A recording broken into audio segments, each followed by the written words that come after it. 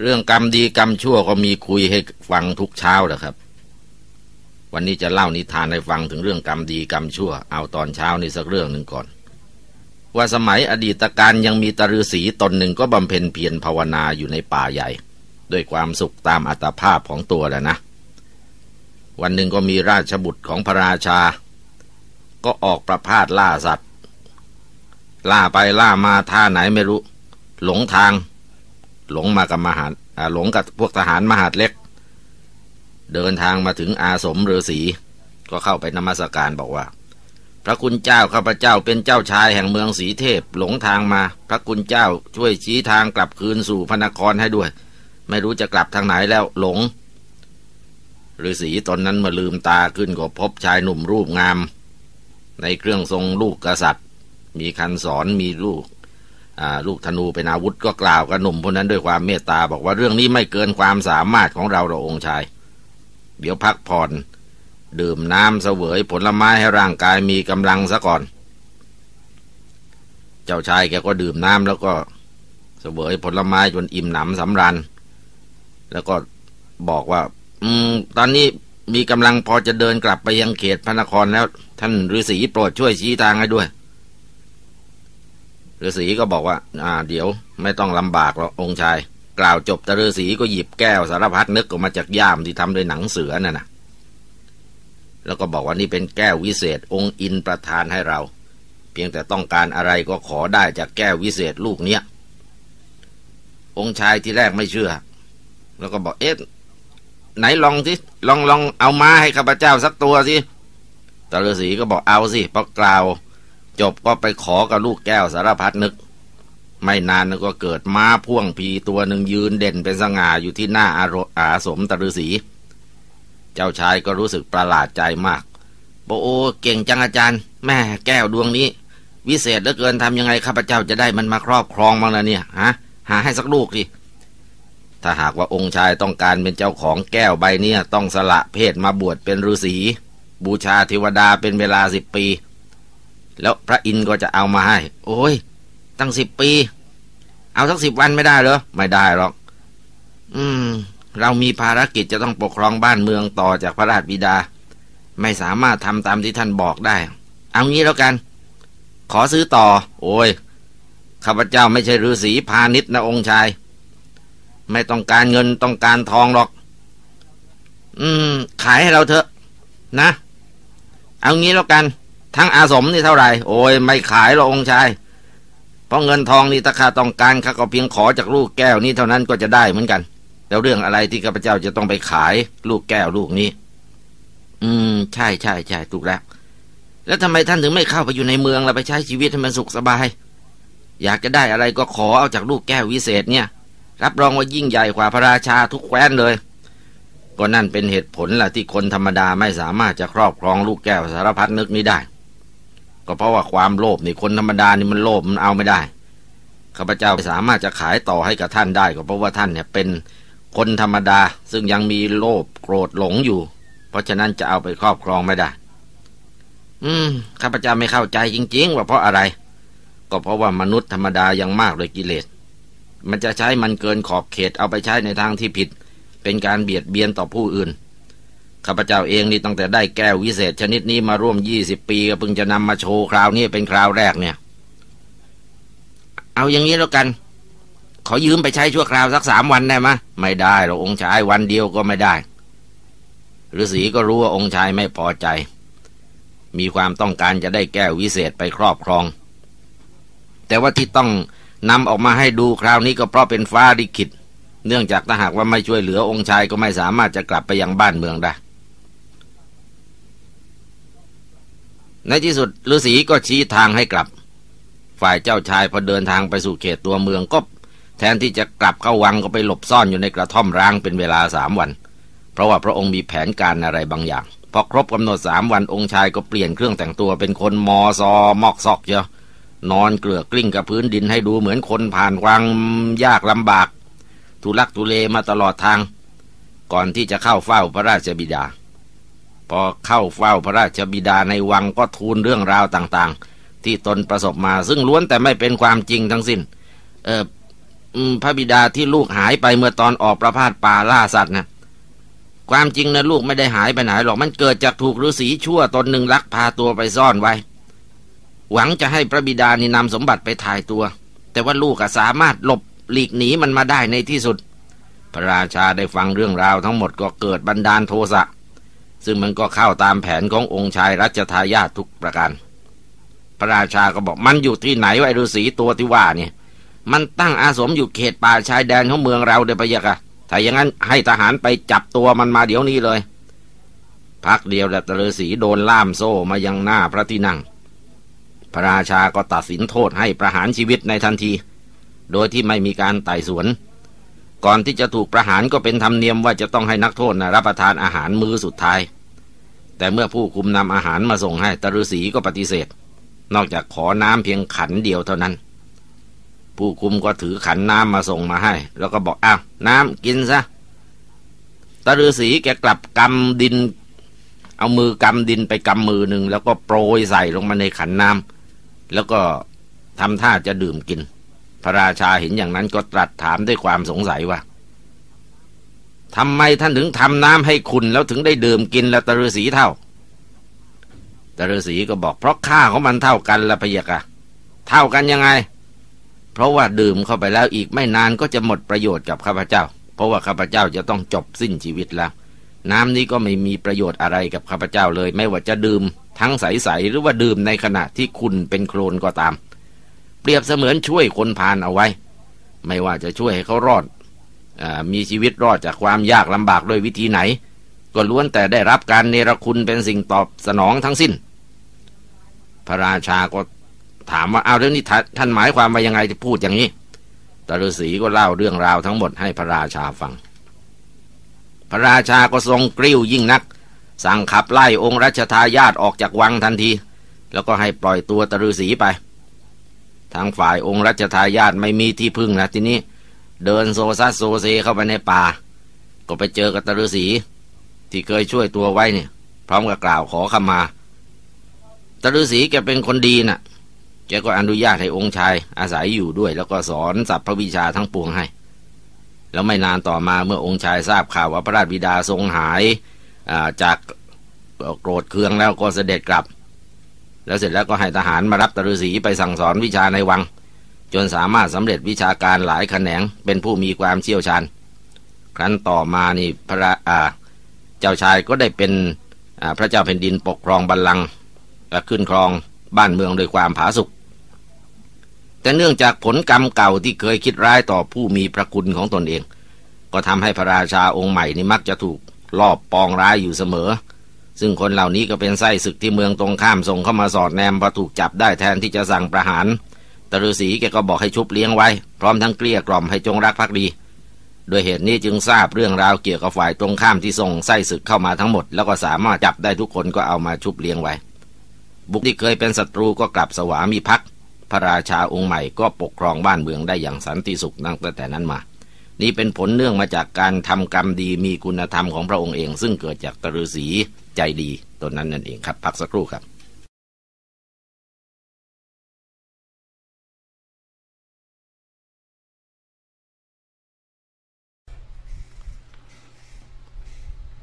มาถึงเรื่องสุดท้ายของวันนี้ ท่านผู้ฟัง ท่านผู้ฟังเคยได้ยินชื่อมักกะโทไหมครับ ในชุมนุมพงศวดานเรื่องพระร่วงนั้น ยังมีเรื่องของมอนหนุ่มที่น่าสนใจ ชื่อมักโทที่เข้ามาพึ่งพระบรมโพธิสมภาร มีหน้าที่ปัดขวาดชำระโรงช้าง แต่ว่าฉลาดปราดเปรื่องแล้วก็มีวาสนาสูงส่ง จนเด็ดดอกฟ้าพาพระราชธิดาของพระร่วงหนีไปตั้งตัวเป็นกษัตริย์ในเมืองมอนมกโทนี่เดิมเป็นบุตรชาวบ้านธรรมดา อยู่ที่ตำบลตะเกาะวุ่น แขวงเมืองเมาะตะมะ ในรามันประเทศหรือว่าเมืองมอน เข้ามาค้าขายอยู่ในเมืองสุขโขทัย แล้วก็มีคุณสมบัติเด่นอยู่สามประการ คือมีรูปโฉมลักษณะดี เป็นที่รักใคร่ของคนทั่วไป แล้วก็มีสติปัญญาเฉลียวฉลาด มีความกตัญญูกตเวทีรู้คุณคน วันหนึ่งมกกะโทกับข้าทาสบริวารประมาณสามสิบคน หาบสิ่งของไปขาย ครั้นมาถึงเชิงเขานวรัตคีรี บริวารคนหนึ่งเกิดป่วย มกโทก็ช่วยกันหามบริวารคนนั้นขึ้นไปรักษาตัวบนเขา ในเวลานั้นก็ไม่ใช่ฤดูฝน แต่ว่าเกิดฝนตกฟ้าร้อง แล้วก็มีฟ้าผ่าลงมาถูกปลายไม้คันของมกะโทแตกผ่าซีกออกไป แต่ว่าไม่มีใครได้รับอันตราย เมื่อมกะโทแงนมองขึ้นไปบนท้องฟ้า ก็เห็นแสงฟ้าเป็นปราสาทราชมนเทียน ประดับด้วยราชวัตรฉัดธงก็ทำให้มกะโทประหลาดใจ แต่ก็ยังไม่รู้ว่าเป็นนิมิตดีร้ายประการใด ครั้นเดินทางต่อไปพักที่ตำบลหนึ่ง มกะโทก็ถามหาโหราจารย์ที่ชาวบ้านนับถือ แล้วก็ไปกราบขอให้ช่วยทำนายนิมิต เมื่อมกะโทเล่านิมิตที่ได้เห็นให้โหราจารย์เฒ่าฟัง ท่านก็รู้ว่าชายหนุ่มผู้นี้เป็นคนมีบุญวาสนาจะได้เป็นใหญ่เป็นโตในวันหน้า ก็เลยบอกกับมกะโทว่านิมิตที่ได้เห็นน่ะเป็นสิริสวัสดิ์มงคลใหญ่หลวง ท่านจงนำเงินทอง มากองให้สูงเสมอเท่าจอมปลวก เป็นการคำนับบูชาครูก่อน เราถึงจะทำนายให้ มักกะโทก็คิดว่าสิ่งของสินค้าที่เอามาขายครั้งนี้ถึงจะขายหมดแล้วทั้งทุนทั้งกำไร ก็ยังได้เงินไม่มาก พอที่จะกองสูงเท่าจอมปลวก แต่ก็จะทำยังไงถึงจะได้เงินทองมาให้สูงเสมอเท่าจอมปลวกได้ พอใช้ปัญญาไตรตรองไปมาแล้วมักกะโทก็ถอดแหวนที่นิ้วมือนำไปวางไว้เหนือจอมปลวกก็บอกโหราจารย์ว่าได้บูชาคำนับครู ด้วยทองคำเสมอเท่าจอมปลวกแล้วท่านเมตตาทำนายนิมิตให้กับพเจ้าเถอะโหราจารย์เห็นอย่างนั้นก็คิดว่าเอ๊ะบุรุษหนุ่มผู้นี้เป็นคนมีปัญญาเฉียบแหลม สืบไปเบื้องหน้าจะได้เป็นใหญ่เป็นโตแน่ ก็ทำนายนิมิตว่าในเวลาไม่ช้าไม่นานนี้มักกะโทจะได้เป็นเจ้าบ้านผ่านเมืองใหญ่โต มีอนุภาพมาก เพราะฉะนั้นท่านอย่าได้ทำมาค้าขายอยู่เลย อุตส่าห์ทำราชการเถอะจะได้เป็นใหญ่ มียศศักดิ์รุ่งเรือง มกกะโทกับบริวารทั้งหลายได้ฟังอย่างนั้นก็ดีใจลงกราบไหว้ขอบคุณพระโหราจารย์ พอขายของเที่ยวนั้นหมดแล้ว มกกะโทก็พาบริวารไปฝากไว้กับบ้านคนรู้จักชอบพอกัน ส่วนตัวนั้นก็หาช่องเข้าทำราชการ จนได้ฝากตัวกับนายช้างพระที่นั่งโรงใน ซึ่งเป็นพระมงคลคเชนตัวโปรดของสมเด็จพระร่วงเจ้า ช่วยดูแลรักษาเก็บกวาดมูลช้างล้างโรงให้สะอาด นายช้างก็มีความเมตตารักใคร่มักกะโทก็เรียกใช้สอยอยู่ทุกวัน สมเด็จพระร่วงเจ้าเสด็จไปที่โรงช้างนั้นเป็นประจำทรงแปลกพระไทยที่เห็นโรงช้างสะอาด เรียบร้อยผิดกว่าแต่ก่อนก็รับสั่งถามนายช้าง ได้ความว่ามีมอนน้อยคนหนึ่งมาขออาศัยช่วยปัดกวาดทำความสะอาด พระร่วงก็รับสั่งให้นายช้างเลี้ยงมอนน้อยผู้นี้ให้ดี อยู่มาวันหนึ่งพระร่วงเสด็จโรงช้างประทับพระที่นั่งใกล้ช่องหน้าต่างโผล่พระพักออกไป บ้วนพระโอษฐ์ก็เห็นเบี้ยอันหนึ่งตกอยู่ก็ตรัสเรียกมกะโทว่ามอนน้อยเอ้ย จงมาดูเบี้ยนี้ดิมกะโทก็คลานเข้าไปถวายบังคม แล้วก็เก็บเบี้ยนั้นไว้ มีความดีใจว่าจะได้พระราชทานเบี้ยก็หมอบเฝ้าอยู่หน้าพระที่นั่งจนกระทั่งเสด็จกลับมกะโทคิดไตรตรองว่าจะนำเบี้ยพระราชทานนี้เอาไปทำอะไร ในที่สุดก็เห็นว่าควรจะนำไปซื้อเมล็ดพันธุ์ผักกาดมาปลูกไว้ แต่เมื่อนำเบี้ยไปที่ตลาดแม่ค้าก็บอกเบี้ยเดียว จะขายได้ไง มกะโทก็บอกว่า ขอแค่เอานิ้วจิ้มลงไปมเมล็ดผักมันติดมาแค่ไหนก็เอาแค่นั้นน่ะ แม่ค้าก็เลยยอม มกะโทก็เอานิ้วจุ่มน้ำลายในปาก ก่อนที่จะจุ่มลงไปในกระบุงมเมล็ดพันธุ์ผักนะทีนี้มันเปียกมันก็ติดนิ้วขึ้นมาไม่ใช่น้อย แม่ค้าเห็นอย่างนั้นก็ชม เอ๊ะมอนน้อยคนนี้ฉลาดเฉียบแหลมดีมกะโทก็ขุดดินยกแปลงขึ้นข้างโรงช้าง เอามูลช้างผสมลงเป็นปุ๋ย เอามาเมล็ดพันธุ์ผักติดนิ้วนี่ปลูกลงไป ไม่ช้าผักก็ขึ้นงอกงาม ครั้นพระร่วงเสด็จมาโรงช้างมกะโทก็ถอนผักถวาย มีรับสั่งถามว่ามอนน้อยนี่ได้ผักมายังไงมกะโทก็ทูลตามความเป็นจริงที่ได้เบี้ยพระราชทานไปซื้อมเมล็ดพันธุ์ผักมาปลูก พระร่วงเจ้าทรงฟังก็สรรเสริญว่ามอนน้อยนี่ฉลาดปัญญาเฉียบแหลมสมควรจะเลี้ยงไว้ ก็ขอตัวมกะโทจากนายช้างเข้าไปรับราชการ เป็นพวกวิเศษเครื่องต้นอยู่ในพระราชวัง ต่อมามกะโทก็ทำความดีความชอบจนได้รับโปรดกล้าวให้เลื่อนขึ้นเป็นกรมวัง แต่ในพงศวดานฝ่ายมอนกล่าวว่า สมเด็จพระร่วงเจ้าโปรดเกล้าเลื่อนมกะโทขึ้นเป็นขุนวัง มีตำแหน่งในกรมวังนั้น ครั้นอยู่มาเกิดกบฏขึ้นในหัวเมืองชายแดน สมเด็จพระร่วงเจ้าเสด็จกรีธาทัพออกไปปราบกบฏด้วยพระองค์เอง ตรัสสั่งให้มกโทกรมวังอยู่เฝ้าพระนคร นางสุวรรณเทวีราชธิดาของพระร่วงเจ้ากับมกโทได้เกิดจิตปฏิพัทธ์ผูกพันเสน่หากันขึ้น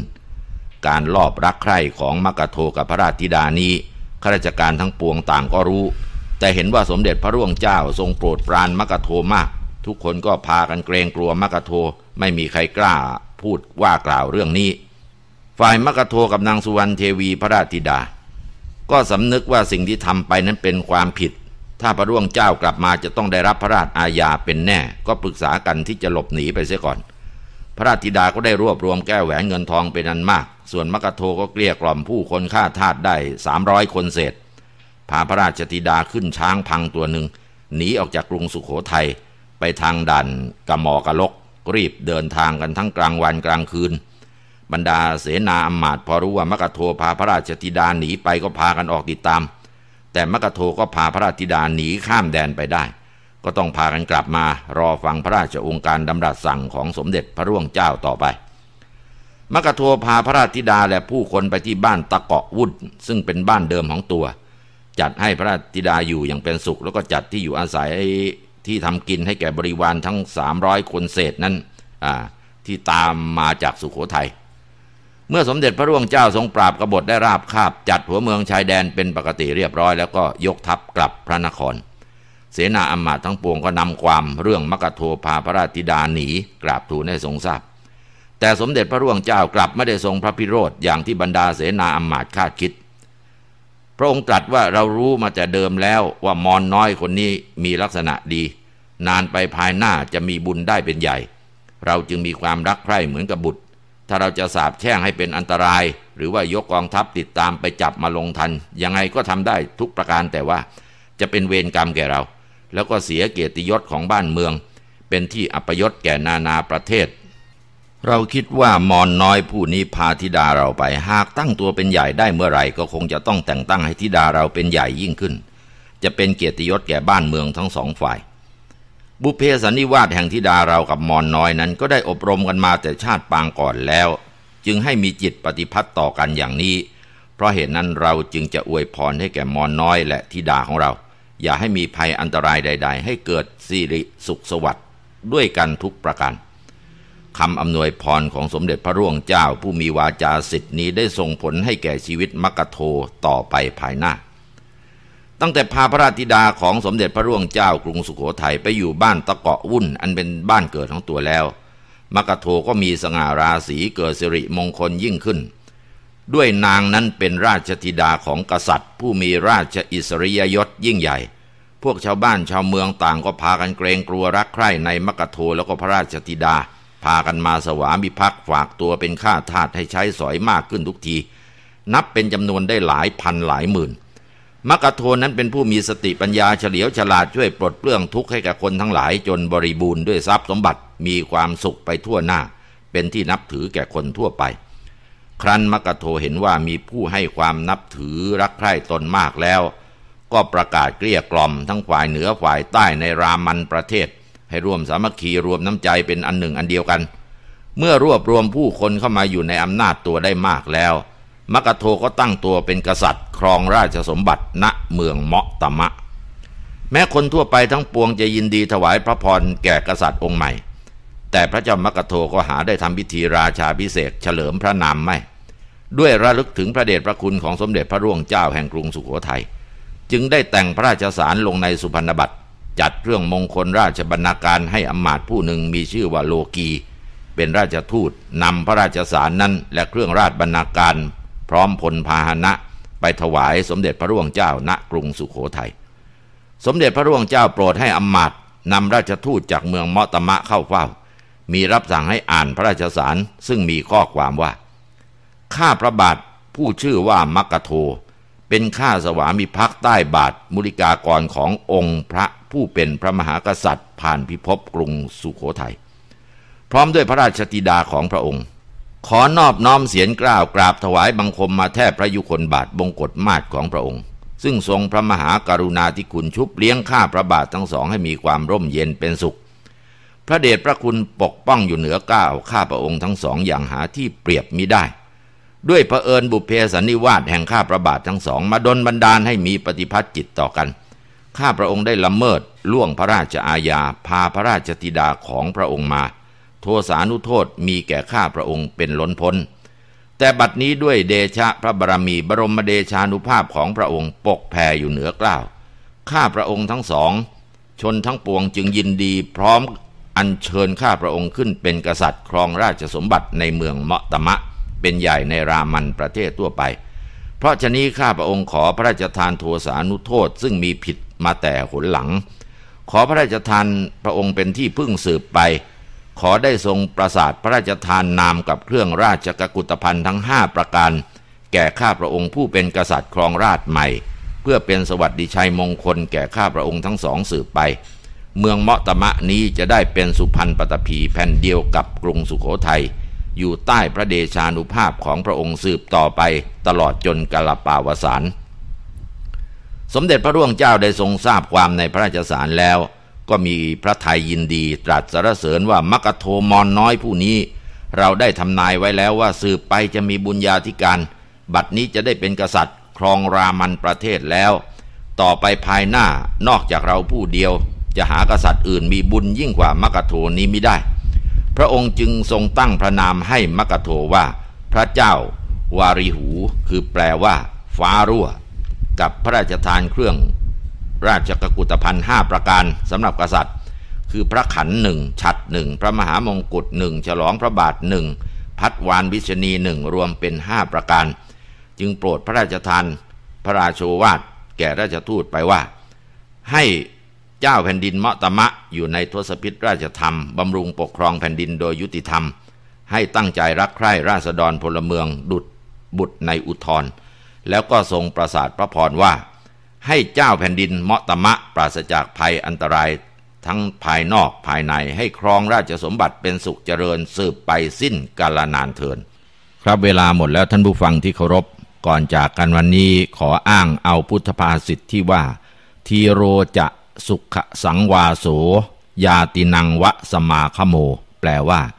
อยู่ร่วมกับนักปราดนำความสุขมาให้ เหมือนอยู่กับญาติ อยู่ร่วมปราดปราดทุกข์ เป็นสุขแท้ จะมีแต่เพลิดเพลินจำเริญสี เหมือนร่วมญาติรักใคร่ด้วยไมตรี สวัสดีจริงหนาอย่าปรารมเพราะมวลปราดปราดเปลืองช่วยเปลื้องโทษ สร้างประโยชน์ให้เกิดประเสริฐสม อยู่กับปราดปราศทุกทุกสุขอารมณ์ สมาคมด้วยปราดฉลาดครัน สวัสดีครับ